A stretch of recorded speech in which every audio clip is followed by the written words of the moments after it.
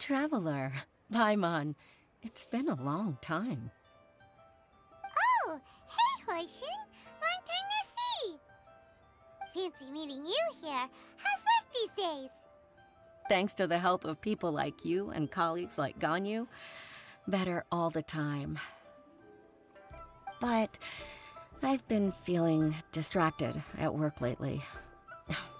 I just feel constantly agitated. it's a long story. But my father, he's thinking of stepping down from the Tianshu position due to health issues. Huh? What's wrong with Uncle Tian? Nothing specifically. He's not unwell. He says he's just increasingly low on energy these days. He's always said, old age comes for us all in the end. Still, I just can't help but feel a little emotional watching it happen to him. Anyway, my father's currently on the second floor of Yanshang Tea House. Why don't you come pay him a visit with me? He seems very fond of you, too. I'm sure chatting with you will make him very happy. Sure, let's go.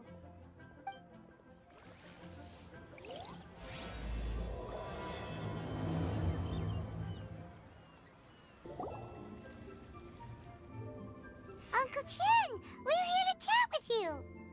Oh? what a lovely surprise. Welcome. Huixin, why don't you go downstairs and get the shopkeeper to make us a fresh pot of tea?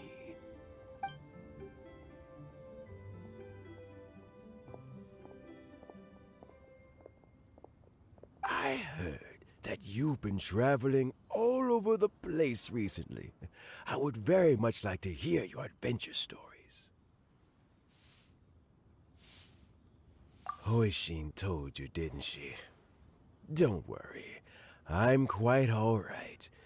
It's just the years gradually catching up with me. Uh, as I grow older, I'm starting to find that with many things, though the mind is willing, the flesh is weak. Especially recently, I've noticed a rather drastic drop in my energy levels. I am still very much in good standing as the Tianshu today. Nevertheless, I wish to pass on the position before my mental acuity begins to decline beyond redemption. How difficult is it to transfer the Tianshu position? Oh, well, you see, the Tianshu is a rather unique position among the Liyue Qixing. Historically speaking, the Tianshu rarely appears in public. We stay behind the scenes, planning and giving advice, so a public selection process would not be suitable. We also want to keep any prospective Tianshu candidates free from influence by outside forces, so we tend to be as discreet as possible in their assessment and appointment. For these reasons, the incumbent Tianshu typically recommends their candidate of choice, and this is then approved by the other Qixing members. So in other words, you pick someone, and then Lady Keqing, Lady Ningguang, and the other Qixing appoint them? Correct. Unfortunately, due to my health, I won't be able to assess every candidate myself. Not to despair, however, because I've found someone exceptionally capable to act on my behalf as assessment officer. In fact, I believe you recently became acquainted with her yourself. Oh? Who is it? I'm heartbroken. I thought it might take you a little longer than this to forget all about me. It's Yelan! Jackpot. Uncle Tian here asked me to assess three candidates for him. Fancy joining me? You'll be among the first to get to know the next Tianshu. Might be a good opportunity for you. Hmm. What do you think? Paimon thinks so too. It can't be a bad thing to be on good terms with a new Qixing, right? Alright then. Though, I gotta say, Uncle Tian, you say you're into behind the scenes planning? My work's of the covert variety, too. Don't you think I might make a good Tianshu? Huh? Yelan, you want to be the next Tianshu? Hmm, I'm not opposed to the idea, but I suspect Ningguang wouldn't let you go very easily after how long you've been working together. So, how about this? If your investigation reveals that none of the other candidates are qualified for the position, I'll recommend you for the job. Deal. Well, you guys take your time. Everything's all set for the assessments to go ahead. Meet me on the first floor when you're ready. Until then, have a pleasant conversation. Oh, and no need to pay for your tea. As the new owner of this fine establishment, this runs on the house.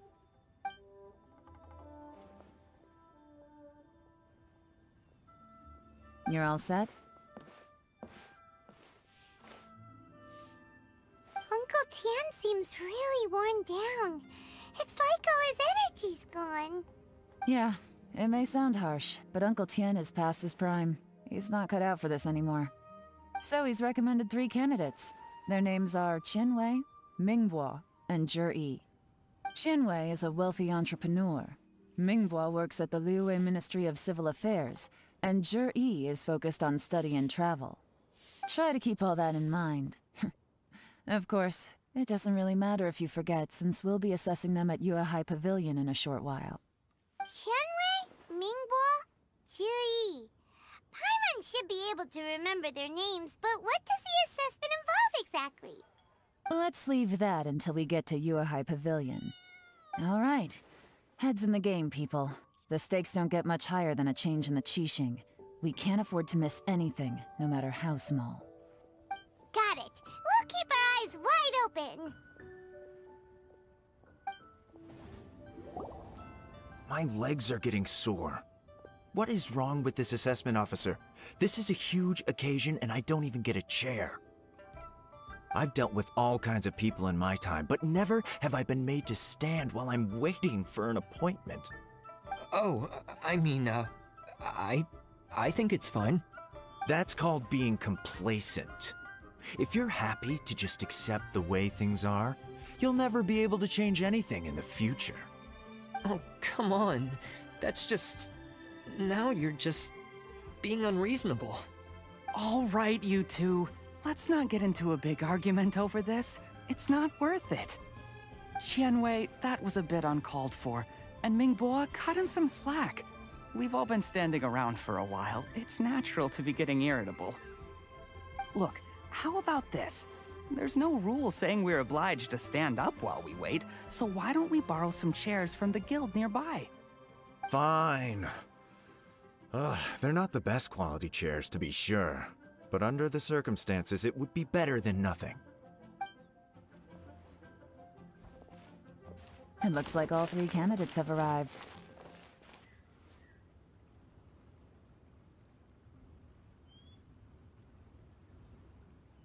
Mm-hmm. We'll meet them formally soon. Before that, let me run you through the assessment process. I've split it into two stages. Current affairs and planning, and face-to-face -face interview. In the first stage, candidates are required to submit a manifesto for Liyue's development. In the second stage, we will ask them some questions in person. Writing a manifesto takes time, so I informed them of this requirement in advance. These are the reports they submitted. Wow. One of them is really thick. It's also worth mentioning a stipulation I gave them. Whoever is appointed as the new Tianshu will be expected to implement their plan as put forward in their manifesto. Failing the occurrence of some cataclysmic event, they will not be permitted to change their plan. Therefore, these three piles of documents in front of us represent where each candidate stands on key policy issues. There's still some time. Have a skim through, get a first impression of what each person's proposing. I'll be waiting off to the side. Just let me know when you're done.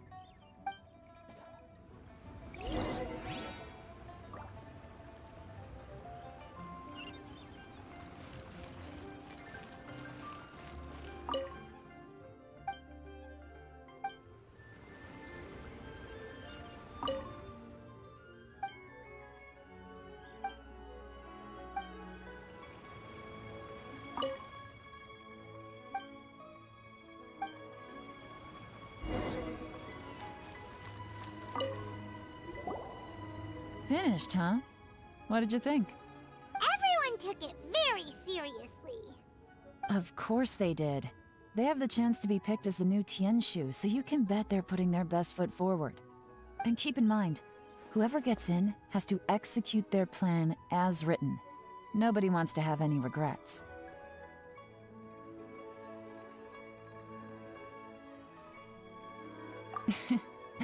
That's for me to know and you to find out. We can talk more after the interviews. We'll see the candidates now. Let's do one at a time. Start with Qianwei. Yes, ma'am.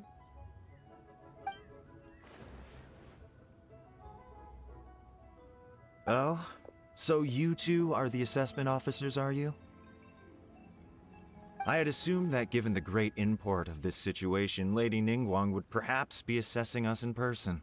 I certainly hadn't imagined I'd be seeing two entirely unfamiliar faces. I trust you've read through my manifesto? I'd be more than happy to clarify any details you found difficult to grasp. It was written with an expert audience in mind, after all. Mind your tone, mister. Relax. It wasn't intended as a personal slight against anyone in particular. I was simply stating a fact.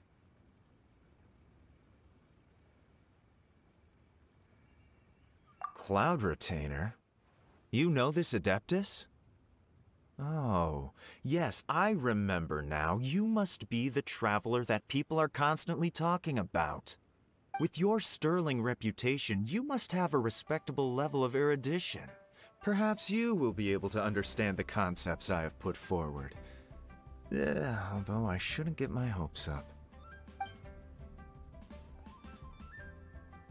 Oh, is it my turn? Yes. Please introduce yourself. I'm, uh, Mingbo. I work in the Ministry of Civil Affairs. I've worked there for, um, nine years, five months, and three days. In that time, I've handled, uh, 2,347 cases. I have 12 active cases at the moment.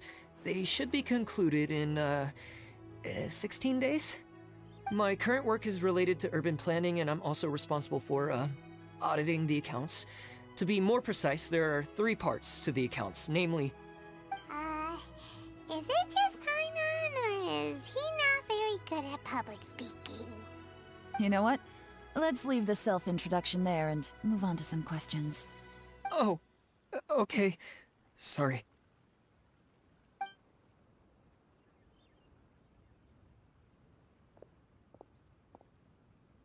Hello. Not gonna lie, I'm feeling a little nervous. What would you like to know?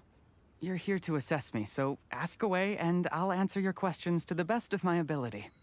Your manifesto is very wide in its scope, but you don't seem to be personally involved in many of the specific fields. How can you be sure that you have the ability to put your plan into action?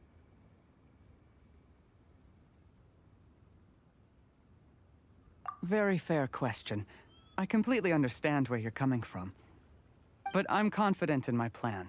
I've visited many different places, talked to lots of people with far more expertise than myself, and my manifesto is the conclusion of these efforts.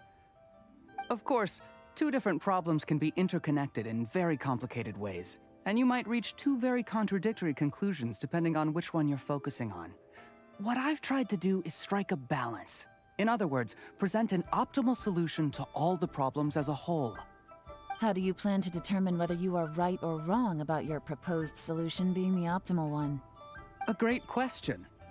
Well, I'd start by having my colleagues and the secretaries of the Yuehai Pavilion evaluate any proposals before implementation.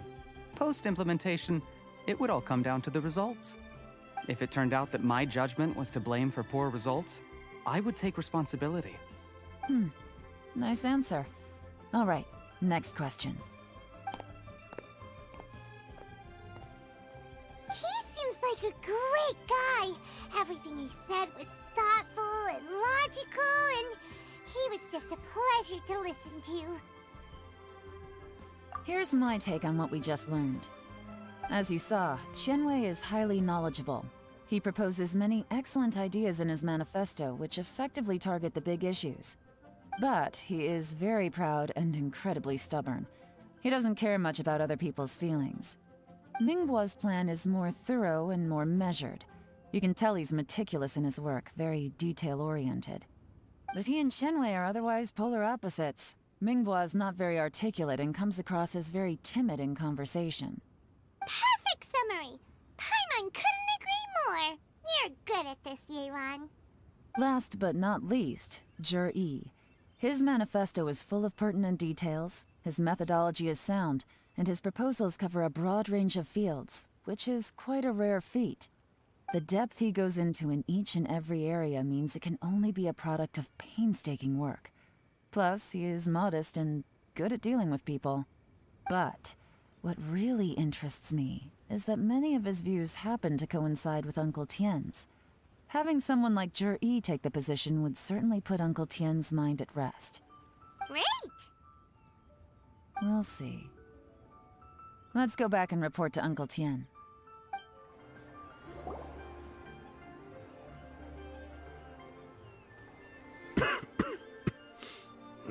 I see. Then it's more or less as I anticipated. All right, then let me ask this.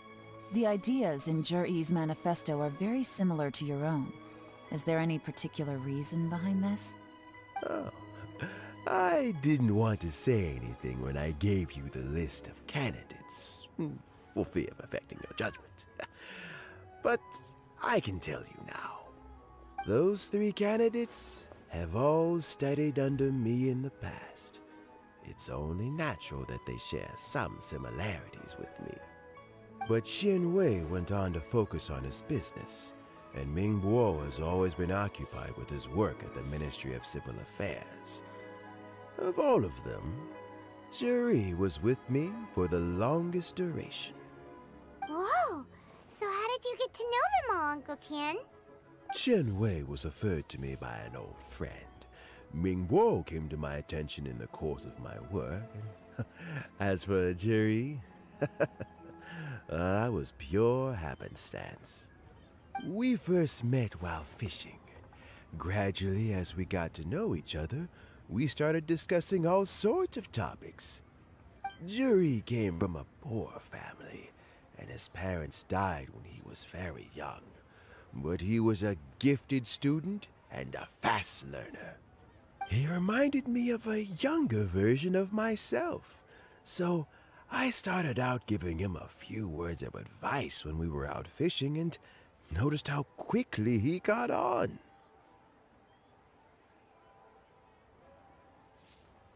Quite. And now, all of a sudden, he's grown into a mature young man. It's a joy to see, but it also gets one thinking. The young are growing up, and I am growing old. How time flies. No one can escape the cycle of life. I don't know, Uncle Tian. You still seem in pretty good shape to me. You might have another few years of work left in you, don't you think? Oh, you. There's really no need to console me. Having less energy than I used to isn't a, such a bad thing.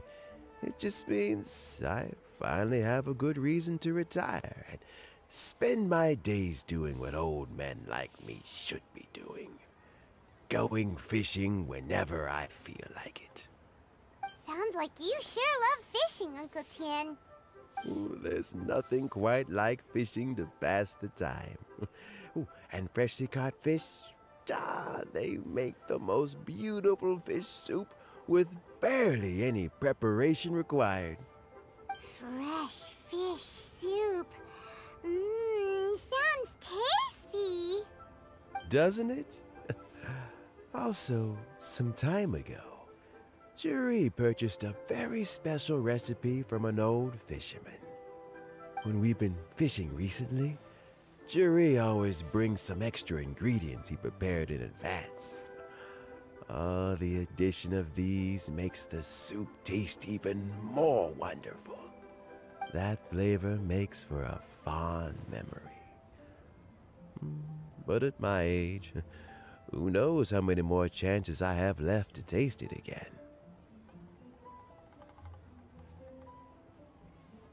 Oh, can Paimon come next time too? Paimon really wants to try it.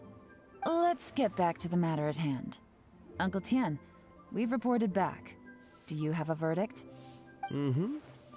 I appointed you as the assessment officer, and I trust your judgment. Had you not asked me why Zhi Yi's ideas were so similar to mine, I was not going to mention my history with any of them. This decision must be guided by what is fair and right. Please disregard all other considerations and make your final decision only after a thorough review of each candidate's talents and capabilities. Remember, you must be thorough. Understood. Come on, let's go talk somewhere else. Bye-bye, Uncle Tian. Look after yourself.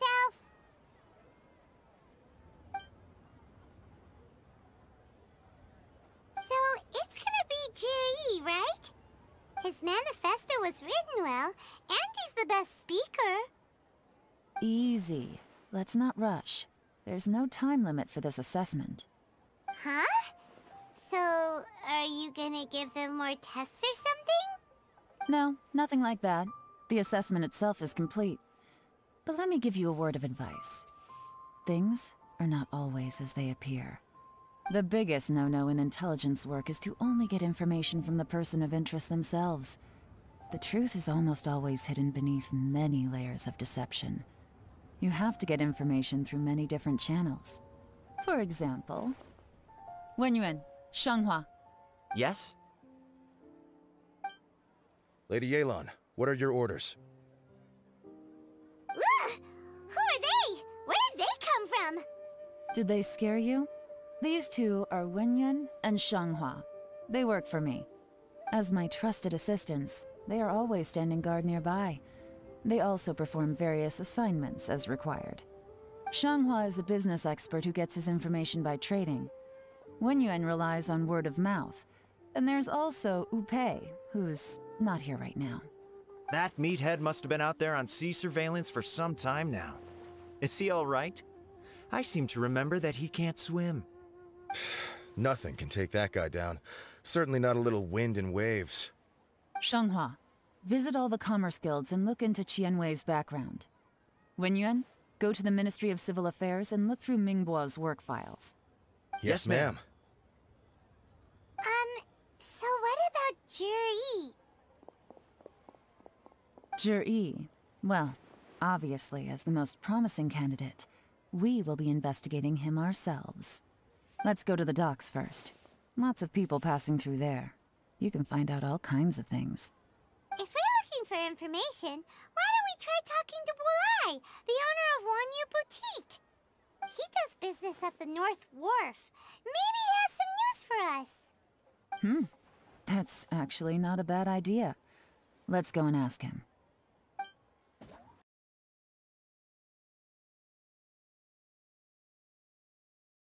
I pulled a Qiqi. Lost